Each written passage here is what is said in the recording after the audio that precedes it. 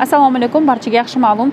To'rtinchi may kuni ijtimoiy tarmoqlarda yulduz usmonova tomonidan ichki ishlar xodimlarini haqorat qilgan va keskin tanqid qilgan video tarqaldi.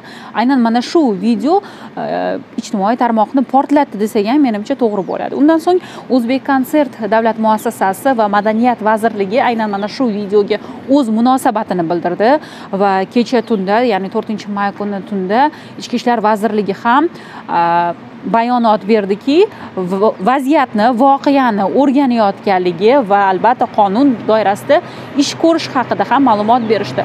Bugun beshinchi may kuni esa ichki ishlar vazirligi matbuot xizmati tomonidan ommaviy axborot vositalariga bugun soat o'n to'rt nol nolda demak sud jarayoni bo'lib o'tishi haqida ma'lumot berildi va bizni taklif qilishdi ommaviy axborot vositalarini. Bundan tashqari juda yam ko'plab ommaviy axborot vositalari tashrif buyurdik lekin mana e, o'n to'rt nol nolda bo'lib o'tishi kerak bo'lgan sud jarayoni soat o'n sakkizdan o'n ikki daqiqa o'tdi hamki hali boshlanish arafasida emas sababi yulduz usmonova ham tashrif buyurmadilar biz tabiiyki ichki ishlar vazirligiga yana qayta murojaat qildik nima uchun sud jarayoni bo'lmayapti biz mana shuncha soatdan beri bu yerda kutib o'tiribmiz va albatta sud binosida emas balki tashqarida hovlida kutib o'tirganligimizni aytdik ular bizga demak hali hujjatlar sud tomonidan mirzo ulug'bek tuman sudiga kelmaganini yetkazilmaganini aytishdi tabiiyki savol tug'iladi. Nima uchun sud jarayoniga demak sud hujjatlari hali yetib kelmagan bo'lsa